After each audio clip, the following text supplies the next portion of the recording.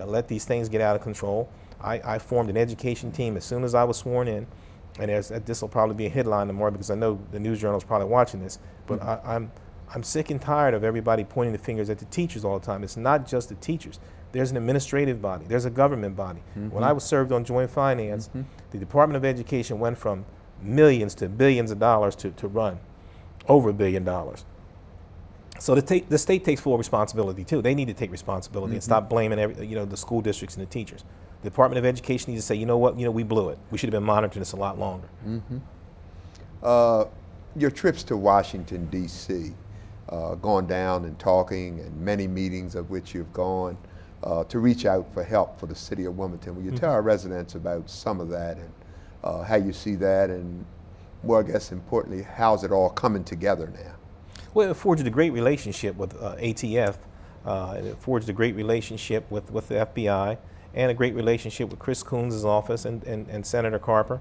Mm -hmm they've worked with us. Uh, you know, years ago it was like pulling teeth with the feds and the, and the locals coming together. Mm -hmm. But we know we're all in this together. And we went, met with the Department of Justice. Uh, you know, now we're going to receive some some funding and some equipment uh, that we didn't get before. And they were saying, you know, what took us so long? So now we're here. And I said, well, we're here now. So so let's work with us. We met some of their their their grant writing people who will assist us and guide us through every step mm -hmm. of the way mm-hmm. to write grants. We're going to send our grant writer down to meet these people on a, on a first name basis so they'll be connected, interlocked. And when we when something's coming us, they will tell us, what, you know, this is a good thing for Wilmington because they monitor what we need because mm -hmm. we, we, mm-hmm. put a list of mm -hmm. things out what, what we need and, and they will guide us in that direction to make sure we get that funding. Will we receive everything? No but we're to the point now where we're all together on, on a first name basis and, and we're working very hard together. Mm -hmm. I tell people, you know, don't come to me with the okey doke. You know, if you don't want to help Wilmington, then move on. Mm -hmm. I, I, don't need people mm -hmm. patting me on my back telling me you have a tough job. I have a tough job. Well, well show me the money help the city out. you understand what I'm saying? If you want to help That's me, right. don't be patting me on my back and telling me I have a difficult job. I mean, come to me and say, this so is what true. we can do for you. Mm -hmm. You know, we're the economic driving engine of, of, the, of the state. We are the largest city in the state. 30,000 cars pass through the city on a daily basis. And the number they go up in I-95 and, and 495, I can't tell you, the 12th busiest train station in the nation. At one point, we had 26% of the state's workforce. You can't mm -hmm. tell me that Wilmington's not paying its own way. Mm -hmm help us to uh, understand also as you go forward economic development, uh, something that's going to create jobs, uh, maybe some construction, something, something. What's kind of going on economic development? Well, we have we have four projects right now that that, that I, Buccini/Pollin, the, the condominiums. That's going to be construction jobs are already there. Uh, Shipley Street, 9th yes. and Shipley, right. Uh, there's a new anchor uh, that's going to be coming very soon in the area of 13th and Market, and I can't talk about that right now, but mm -hmm. it's mm-hmm. going to be construction jobs there, and it's going to be 25 permanent jobs and 15 part-time jobs. Mm -hmm. there's uh, three other developments that's coming through. Uh, that will be long-term construction jobs, and probably the total between the three projects will be 300, and there'll be you know, new new residential where, where people to move in and new living and more retail space, mm -hmm. and it'll be permanent jobs in the retail space. Mm -hmm. um, one of the things that, that I said during the course of the campaign, we need to bring more people into the city of Wilmington. Uh, the people in an urban area is the heart throb of a city. It's like the blood pumping through the heart. Cities need people. If you don't have people, businesses won't move in mm -hmm. because once they do a market study or a feasibility study, it mm -hmm. shows that the income can't sustain them. Mm -hmm. This is the reason why they won't come in. Mm-hmm. But when you have more people moving in, people will come in and spend because they have disposable income, and then you'll have businesses that come in. Mm-hmm. You know, I'm, I'm pushing for Ruby Tuesdays downtown. I'm pushing for mm-hmm. Victoria's Secret downtown, Brooks Brothers. I'm pushing for all of these things. Um, uh, it's a few other stores I can't think about right now, but I'm pushing for all of these things because this is where people like to shop. This is what people like to do. We've done some market surveys, mm -hmm. and you, you have to give people what they want, not what you want, just because you like the name. You, mm -hmm. you do market studies. You give people that are working downtown and beginning to reside downtown what they want, because they're the people that will come here. You know, I, I might like. Uh, uh, Macy's. If people just because I like Macy's, that doesn't mean everybody downtown likes Macy's. Mm -hmm. And you have mm -hmm. to give people what they want because they're mm -hmm. the mm-hmm. folks that's going to move in these condominiums and these apartments and spend their mm-hmm. money. Mm. Let's talk about well, let's the not waterfront. forget the, the Go arena. ahead. I'm Go ahead. Uh -huh. I, I, we're, we're looking at that arena too. We need money, but we're going to work on it. I, I tell you, my name's not Dennis P. Williams. I'm, I'm going to get that arena for the last thing I do. I'm telling you. Let's talk about the waterfront. I am, uh, not the waterfront, the, uh, uh, uh, lost the names. Port? said The, the, wa- the riverfront. Riverfront. Mm-hmm. Yeah, I'm tying, my mind's running with the port. Uh, I am, Mayor, fascinated with what has taken place down there thus far, uh, the possibilities of other things that can happen down there, uh, the new hotel that just opened up. Yes. Uh, fantastic. Will you talk about that just a moment? Well, the new hotel. It's out of sight. I, I, I tell you, I, I, I, you you know, I tell folks, Mayor, uh, you know, hey, I'm from the hood. I live in the hood, a good community of Southbridge. But put a reference on any way you want to call it. But it, it, it's a very good and fine community. A lot of good and decent folks there uh, that work, retired, and everything else. Everybody's not over there. And in a lot of these communities, northeast, south, and west, involved with drugs or cutting up or violating the law and things of that nature. Uh, but uh, I, I'm one who just don't get down there anywhere near as regular as some of the others that use it. Uh, but each time I go, invited to something, or going down to meet with someone to have lunch or dinner or whatever for business, as I leave, I'm fascinated now that I go down pretty regular now. I've been a member of Planet Fitness for several years and gone up Kirkwood Fitness and used to love 14th and Market. Go every day, and then they closed that up on me. So the one up on Naaman's Road is so far up uh, that I, I hardly go there. But I'm going down more regular early in the morning. I find myself leaving there six, seven o'clock in the morning. Sometimes we talking on the phone a little bit, and I'm riding all around through there, and I mean I'm like a little kid, seeing oh what in the world is that, and you know, and whatnot. Uh, talked to a young man out there that was sweeping up uh, one morning last week uh, in front of the movie theater. And uh, I asked him, did they do matinees and whatnot? He said, yeah, we do them every day, this and that. You know, well, I'm thinking they don't do matinees. I said, well, I can sneak down here and go to movies sometime just to take a break, you know what I mean? But uh, fantastic, fantastic. You want to talk about the Well, you riverfront sound like you pretty moment? much covered it, but oh, I, I tell man, you, it's, it's out of sight. It is a good you. thing. Uh, last night, uh, my wife and I uh, went to the comedy show down Extreme Pizza, but earlier, Uh-huh. earlier in the day we had lunch at uh, Harry's, Uh-huh. and, and we spend a lot of time down there. You get a chance to look at the, uh, the river and the, the high rises that are built there. Mm-hmm. Um, we go to the movies down there, and you know some of the restaurants down there, the, the Big Fish, and sometimes just taking a stroll there. It's it's mm-hmm. very beautiful, and, and I like baseball. The walkway. Oh, yeah. The walkway, little exercise. I take my around. grandchildren to the Blue Rocks, and we spend a lot mm-hmm. of time there. And you mm-hmm. know, what what more better? You get a hockey team down there, and, and, and a minor league basketball team in the future, and a stadium that draws people. Um, I say it's a community within a community. It's it's give Wilmington a major major shot in the arm. Yes, Believe me, it yes. has, and it has put us on the map. And also the National Conference of Mayors. I'm I'm working on getting. Uh, Mike Purzycki to do a presentation to over 900 mayors in San Francisco in June to Oh, to show them what we did with, with our riverfront to give the other cities some ideas, plus to expose the city of Wilmington a little bit more. Fantastic. Chief, I didn't mean to shut you down or shut Oh, no you problem. out. That's all But just get into it with the mayor and just so much going on and Yes. whatnot. Help us out and bring you back in the fold. Uh, our uh, police department manpower size is at what? Uh, I think I heard some talk about a new recruitment class or something that may be coming down the pike or whatever. Help our viewers understand where we are with that. Yes, our authorized strength on the police department is 320. Uh, Mm-hmm. Currently, we're uh, below that number. We're probably about 295. Mm-hmm. And like you stated, we are currently in the process of um, processing for an academy, which we're about to hire about 30 individuals. Mm-hmm. Um, we are in the phase of uh, doing backgrounds and polygraphs right now. Uh, they have chiefs interviews coming up, and then there'll be a selection. And this class will start uh, the first week of December. Um, that's going to help get us back to our authorized strength. However, we know whenever we uh, graduate a class, we uh, lose people through attrition, so we expect to lose an officer a month. So we are in the process of working with the mayor's office and city council that we can continue to do a hiring process and have people in, in the waitings so that when we get to a number that we can uh, keep people moving through the system. And we're, we're recruiting strong in the city, we're recruiting outside the city, but we um, need to make sure that we reach out to those individuals who want to be police officers, who want to get into this profession, that we have officers who are willing to be mentors to keep them on the right track and bring them along through the process so they know what it takes to come into a police agency. And we're trying to bring them to our police agency. We're, we're not trying to send them somewhere else. Right. Fantastic. Fantastic. And, you know, being a police officer, mm-hmm. I, I, I, I, applaud the chief for this uh, mentoring program. You know, as, as a 21 year old uh, man, I woke up one day and had all this power. Uh, and I think that when you're young like that, someone needs to tutor you because you can get a little crazy. Mm-hmm. You know, mm-hmm. I'm just gonna be, I'm gonna be quite use the word quite frankly because I got a little crazy.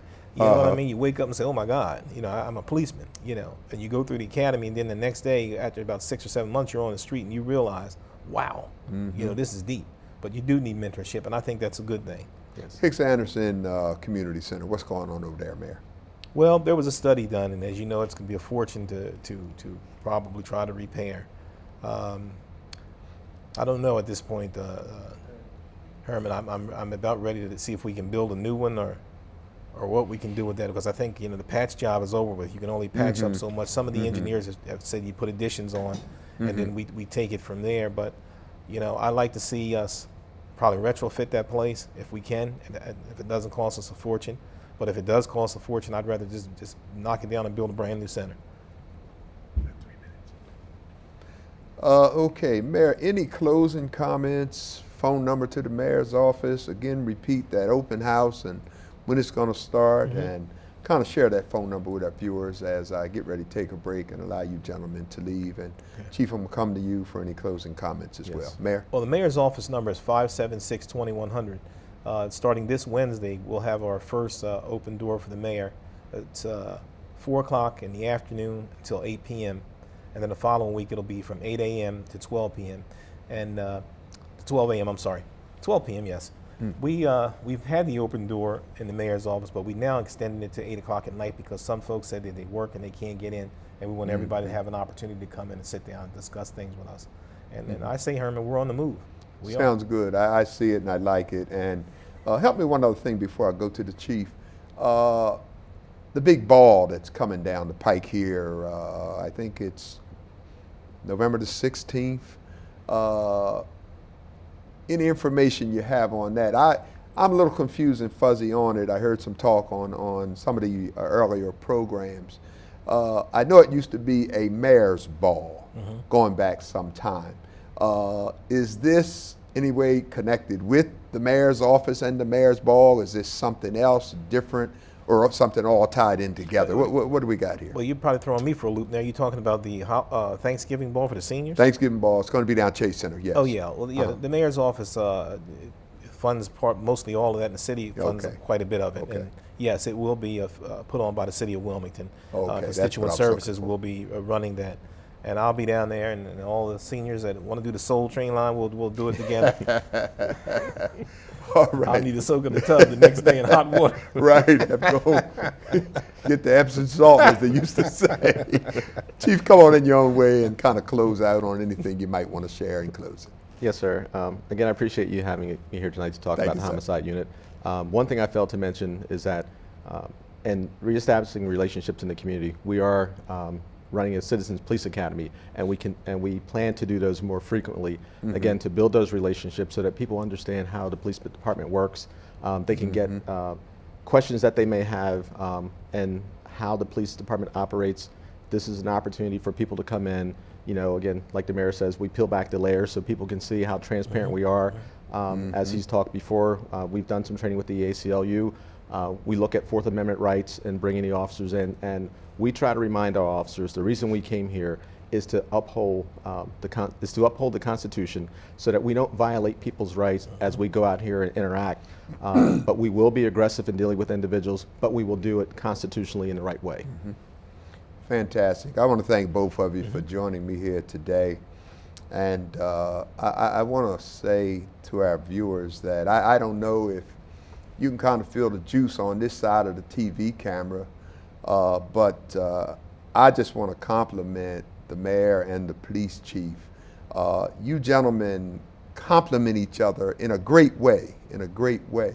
Thank you. Uh, I'm going to say, Chief, the old and the new, you know.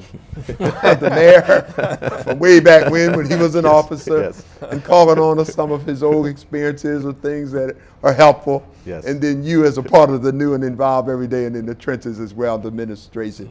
Uh, You gentlemen complement each other very, very well. And Mayor, I want to say here publicly that as it, uh, as you begin to look around through the administration as some changes had to be made uh, for the better. Uh, people that I talked to that at the outset uh, would have a frown on their face or what's your boy doing or them old crazy kind of comments. Uh, it- it's so very positive now. And uh, I I just say keep doing what you're doing. There are a lot of people that do tune in uh, at 7:30 every Tuesday on WDEL when you're on there live or on over the phone, but doing a live interview right across the airways, and they get to hear you talking about the important things, the important issues of our community that touch the heart and souls of our citizens. So for that, I want to thank you. I thank you for being my friend. Look forward to continuing to work and support you, and Chief, uh, you as well. uh, really wasn't close with you. Uh, I knew of you, always had the utmost respect for you. Thank you. But anything in which I can do to be helpful, you have my support. And as always, as the mayor knows, open door invitation on any program that I may have on Sunday or anything that I have that can be helpful to get the word out, get the message out. Uh, you know you have that. Thank you. So with that, uh, I want to thank you for coming to both of you. Uh, I want to take a short break and allow these gentlemen to leave. I'll come back and close the remainder portion of the program. Uh, Stormy, Norman Oliver, if you're sitting out there, somebody get a hold of him. Brother, sister, somebody call Storm and tell him give me a call and leave me his phone number. I need to talk to Storm. And uh, again, a lot of good things are going on. Uh, we're going to be uh, in a very important election coming up right around the corner, November 4th.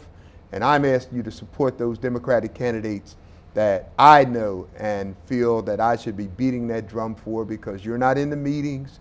You don't know where they are in the criticism. I don't see them here, there. Can't be in two places at one. You can't be out there taking care of that business and down in Dover and the committee meetings and whatnot and, and doing all the important things and then being up here every time a meeting is called. They just cannot do it. You can't be in two places at once. Going to be talking about that. I'll be right back and some other issues. Don't touch that dial. Be right back. God bless you.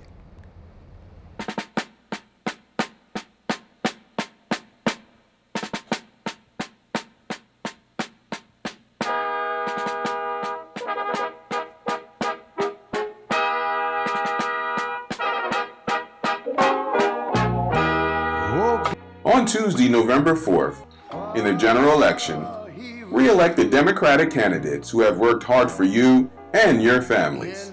Please remember to vote Democrat on Tuesday, November 4th in the general election. Elect Senator Margaret Rose Henry in the 2nd Senatorial District.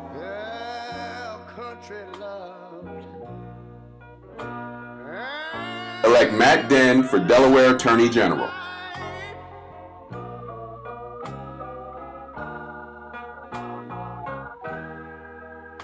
Re-elect State Representative Stephanie T. Bolden in his 2nd Representative District. Re-elect State Representative Helene Keeley in the 3rd Representative District. Re-elect State Representative Gerald Brady in the 4th Representative District.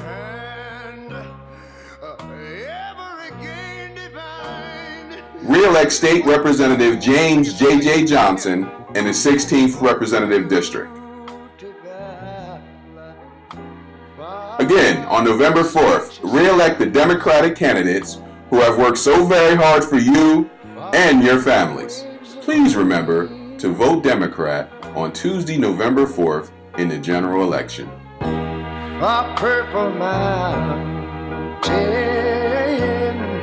Majesties. Over the fruited plain. But now wait a minute. I'm talking about America, sweet America. You know, God done shed his grace on thee.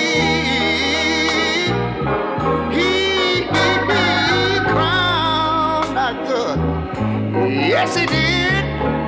Every brotherhood from sea to shining sea. You know, I wish I had somebody to help me sing this.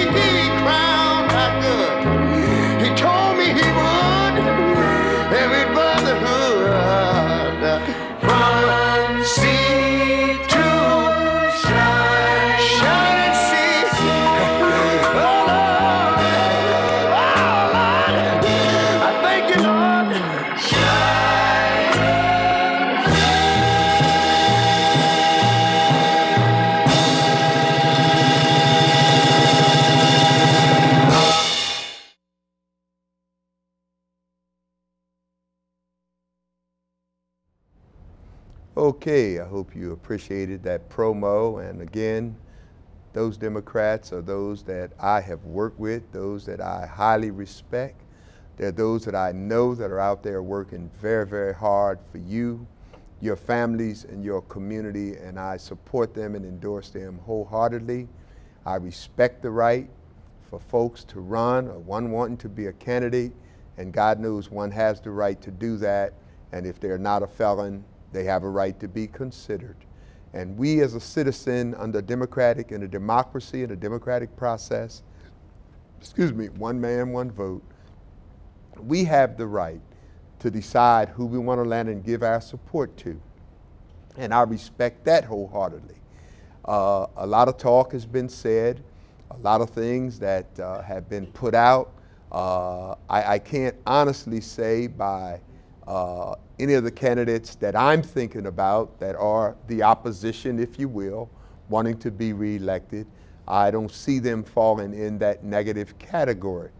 Uh, if it is, it's things I don't know anything about. So, all due respect for those on the other side that happen to now be gone from Democrat to Republican on the ticket, re- Republican ticket, and are asking for your support. So, I'm not talking about any of them. Uh, I'm talking about some negativity and things and the way things have been distorted and taken out of context that really uh, kind of beats the Democrats up in the state of Delaware, city of Wilmington, New Castle County, and uh, a lot of that that's said and the manner in which it's rolled out on the Republican hour is not so in a lot of cases. Uh, the fact that Democrats have controlled for a long time, that is indeed a fact. Uh, the city, county, uh, and state government, that is indeed a fact. That we've uh, had our congressional delegation that is now all Democrats since uh, Mike Castle uh, was defeated going back a few years ago. That is indeed a fact. But what you're not being told about the longevity is the fact that uh, one, for those that are credible, that learns to work through that process that makes friends in those governing, governing bodies, they are the ones, they are the ones that usually rise up through the ranks. They work hard in their districts, they get reelected, they create some longevity, longevity along the way, and they end up in very good leadership positions. Such be the case of each and every one of those that I just showed you on that promo. And what I'd like to do, Alvin, is to go off with that, if you will. So just let me know uh, a good two minutes, two and a half minutes, and from there, take me out because I want to show that again. And I'll quickly close. So just let me know where we are with that, and I'll close out. Uh, again, Norman Oliver, if you're uh, out there, somebody, his brother Cisco, somebody get to him, Ampy. Tell Norman, give me a call. I need to speak with him right away. Once I go off the air, uh, I want to say that all of these shows, such be the case with this one with the mayor and then the police chief, will be on my Facebook perhaps tomorrow. Uh, there'll be a link on Twitter where you can see this show and all my other shows, as well as on YouTube. Uh, I do this to continue to get a message out. I hope that some of you that are still watching Live Lease Access Channel 28 got to see uh, again for the third time the interview I did about two weeks ago, two, and a, uh, two or three weeks ago, with those very same candidates. I wanted you to hear from them as to the role they play, the seniority, the chairmanships they have, the leadership roles that they're in, and how important that is. And let me just say, lastly, on this subject, I'll be back here tonight at 9 p.m., 9 to 10, and I'll, I'll pursue a lot of this as well. Uh, the fact of the matter is, and I think Stephanie T. Bolden hit the nail right on the head when she spoke and said that the process, the process is totally different down in the General, Delaware General Assembly. Uh, City Council, you have an ordinance read first and second, third time you're voting on it, you're done with it. Down there, you put in a bill, the bill gets a number, the bill gets uh, assigned to committee, and you got to work to get it out of committee. Can't always get it out of committee, that's a problem. You cross that hurdle, you take it to the House, put it on the agenda of Senate, and you got to get it voted on, enough votes to pass it. Then it goes to the other House, House or Senate side. They can amend it, and then they got to go back and forth to vote on the amendment, knock it off, and or accept the amendment. But all that's the process in the legislative process. These folks that I'm supporting are very experienced there, and uh, they're doing a fantastic job, and I ask you to seriously consider them. Let's try to play that uh, promo again on the way out if I can, Alvin. And again, I'll be back here tonight, 9 to 10 p.m. Look forward to talking with you. God bless you.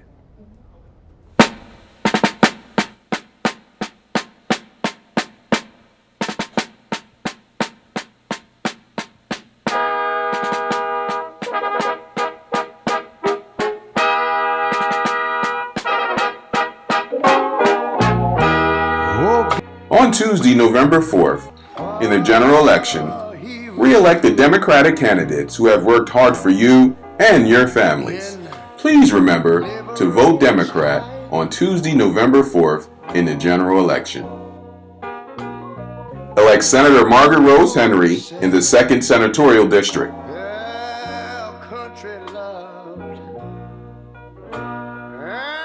Elect Matt Denn for Delaware Attorney General.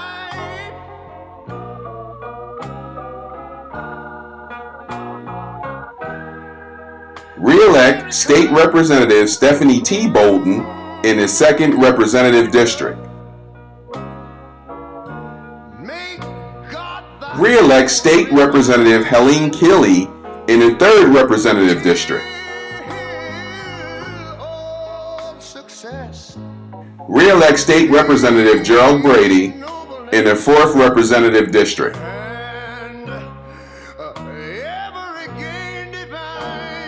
Re-elect State Representative James J.J. Johnson in the 16th Representative District. Again, on November 4th, re-elect the Democratic candidates who have worked so very hard for you and your families. Please remember to vote Democrat on Tuesday, November 4th in the general election